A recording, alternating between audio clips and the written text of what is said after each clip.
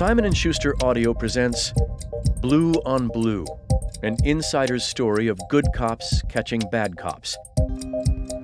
By Charles Campisi, former chief NYPD Internal Affairs Bureau, with Gordon Dillow. Read by Danny Campbell, with a prologue read by the author.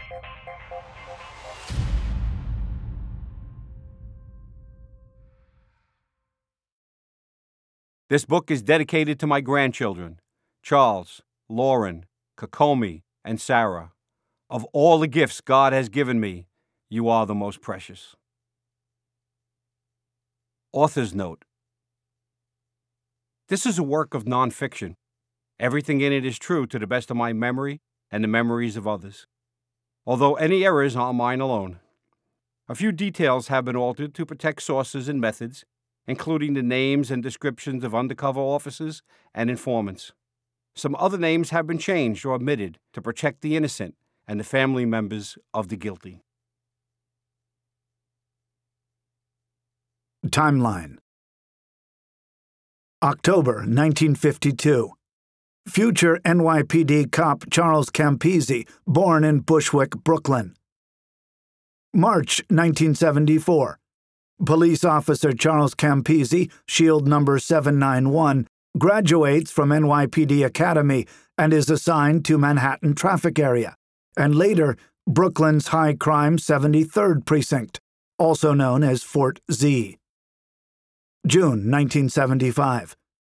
More than 5,000 NYPD cops laid off during the New York City financial crisis, Officer Campisi included. Campisi rehired 22 months later. August 1989. Captain Charles Campisi appointed commanding officer of Manhattan 6th Precinct.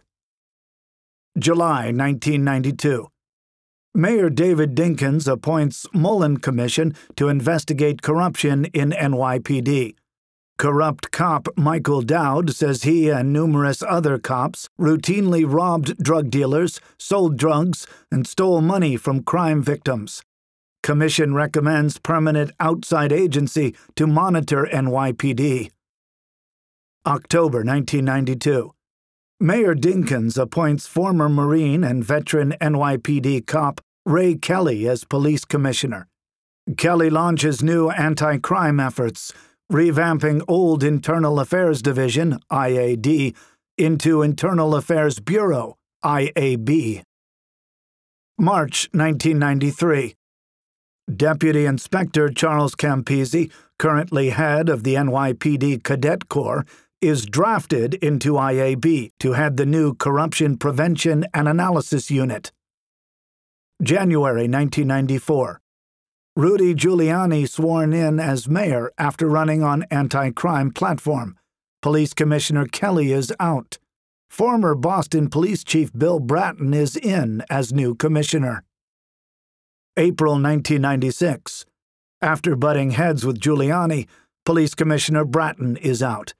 Former U.S. Marshal Service Administrator and current New York City Fire Commissioner Howard Safir is in as commissioner. Murders in city drop below a thousand for the first time in almost three decades. July 1996. Safir promotes Deputy Chief Charles Campisi to a three star position as Chief of Internal Affairs Bureau. August 1997. Haitian immigrant Abner Louima is sexually assaulted with a broken broom handle while in custody at the 70th Precinct Station House in Brooklyn. February 1999.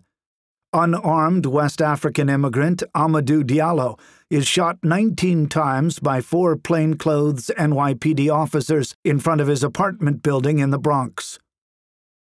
August 2000. Commissioner Safir resigns to go into private sector.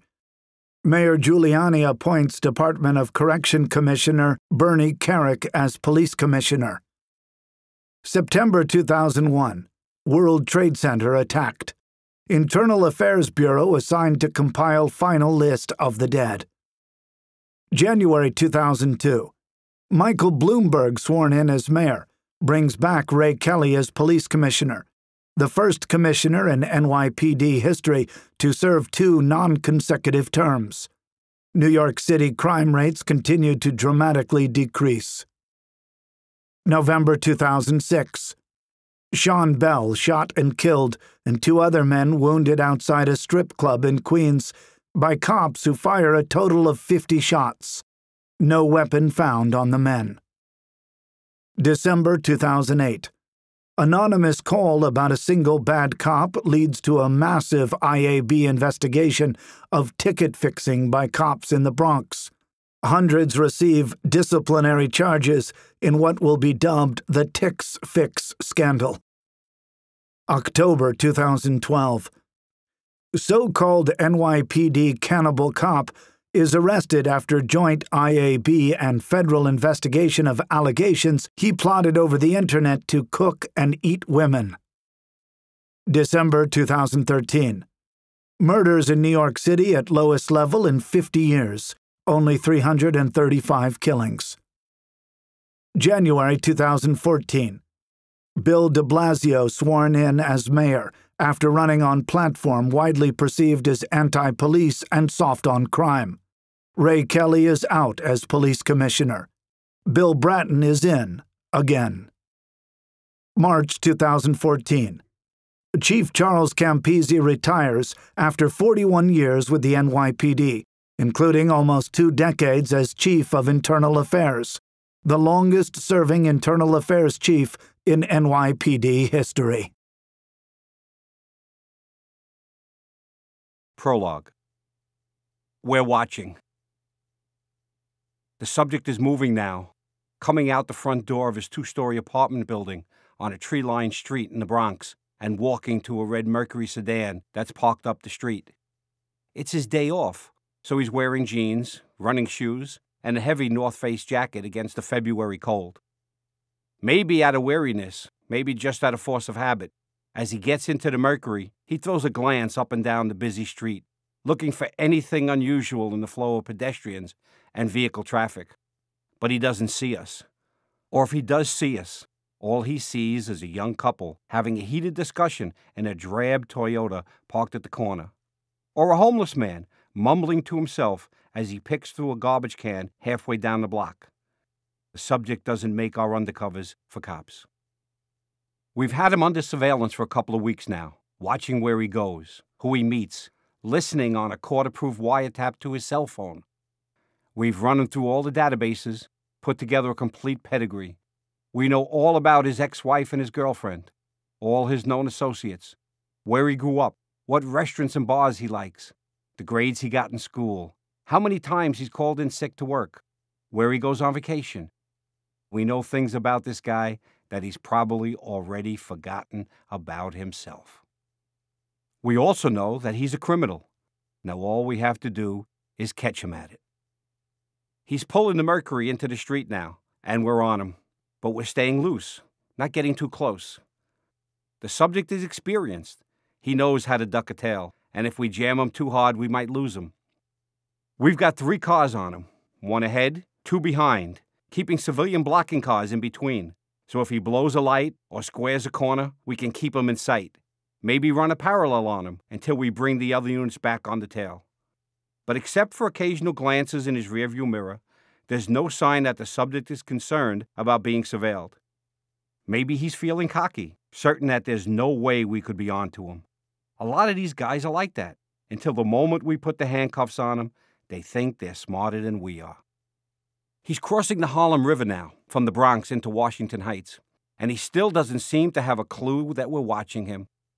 He guides the Mercury onto a grimy side street off Amsterdam Avenue and parks near a five story New Law tenement house, the kind with a combination courtyard and air shaft in the front. It's listed in our narcotics database as a known drug location. There's a lookout on the sidewalk in front, a young thug with his cell phone in his sweatshirt pocket, shivering in the cold, ready to signal if a customer's coming, or if he sees a bunch of narcotics cops in unmarked Crown Victorias come rolling up to serve a warrant. But the lookout can't make us Again, we don't look like cops, and we don't drive Crown Vics. The subject gets out of the car and walks up to the front door. The lookout nods to him, the subject has been here before, and our guy disappears inside. From our informants, from our surveillances, from the wire we've got on his phone, from everything we put together on this guy, we know where he's going. He's going to a bare, cockroach infested apartment on the fourth floor that some Dominican drug dealers are using as a stash house. Five minutes later, he comes out the front door with a small black duffel bag in his hand, and we know that inside the duffel bag there's a couple of kilos of crack cocaine. Eventually, based on the information we give them, detectives from the narcotics division will put a case on those drug dealers on the fourth floor, sending in some of their own undercovers to make hand to hand buys, and then banging the door with a battering ram and bursting in and arresting the dealers. But we don't care about the drug dealers right now. Yes, we're cops, but we aren't narcotics cops. And the only thing we care about right now, our only target, is the guy who's tossing that duffel bag full of crack into the trunk of his Mercury. Because he's a cop too. He's a cop, but he's not like us, or like most of the 35,000 other cops in the New York City Police Department. Yes, he carries the same shield, the same badge that we do. He carries a gun like we do, and he took the same oath. Maybe he even stood next to some of us on the day we graduated from the police academy, the day we all lined up in our shiny new blue uniforms and tossed our formal white gloves in the air in celebration and became part of the brotherhood that is the NYPD. Maybe back in the day he walked some of the same footbeats that we did, rode in the same patrol cars, arrested some of the same criminals, the same perps. Maybe he took the same risks and suffered the same hardships to make this city a better and safer place. Maybe once he was a good cop. But no longer. Now he's a crooked cop who's shotgunning drugs, transporting trafficker weight cocaine shipments across the city and down the drug distribution rat line to points south in Maryland and Virginia and North Carolina. For the drug traffickers, he's a perfect courier because if he gets pulled over in a routine traffic stop or by some suspicious trooper on the Jersey Turnpike, all he has to do is flash that NYPD shield maybe some chat with the trooper for a few minutes about the job, how long their respective departments have been working without a union contract, how much their bosses suck, whatever. And then the trooper will wave him on, professional courtesy, cop to cop. That NYPD shield is his insurance policy, his guarantee that no cop will ever look inside that trunk. And this is almost certainly not the first time that this cop has crossed the line. Not the first time he has shotgunned a drug shipment or shaken down a drug dealer or beaten up a perp and taken his money, or even pushed some citizen around just because he wears a badge and he's having a bad day. Bad cops are seldom bad cops just once. But now all of that is over, because the moment that cop puts that duffel bag of coke into his trunk, we own him. He belongs to us. We're going to put this crooked cop in jail. We could jump collar him right now, pull him over as soon as he eases into traffic and turns the corner. But there's no hurry. We'll give him a little bit longer. We'll follow him a little further. We'll let him cross the George Washington Bridge and go interstate with a drug shipment, which effectively doubles the years in prison he'll be looking at. If he was dead before, he's double dead now. He just doesn't know it yet. So we head south on the turnpike, still thinking he's safe. And now, finally, it's time. We have a couple of uniformed cops in a marked patrol car come up close behind the Mercury, then light him up and pull him over like it's a routine traffic stop.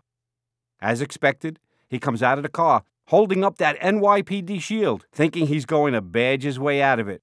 But then we move in from behind the uniforms and grab him and take his gun and pat him down. All the while he's telling us he's a cop. He's a cop. There must be some mistake. But then he realizes who we are, what kind of cops we are, and he knows that it's over, that he's done. Soon we'll sit him down at a small table in a small, spare, windowless room somewhere, the same kind of debrief room where countless cops have confronted countless criminals with their countless crimes. And now he's just another one of them. Except that, like almost all the crooked cops we arrest, he's a virgin. No matter how many people he has arrested, he has never been arrested himself. And things look different from the perp side of the table. He's a big guy, taller and heavier than most, but in a tiny room, surrounded by honest cops, he suddenly seems kind of small. Maybe he'll be in a state of shock. We hope you enjoyed this preview. To continue listening to this audiobook on Google Play Books, use the link in the video description.